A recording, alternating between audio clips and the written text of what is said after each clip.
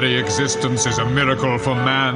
Romanians, hungry and naked, have waited When we say Ceausescu, we say Romania. When you speak, rocks turn to mountains.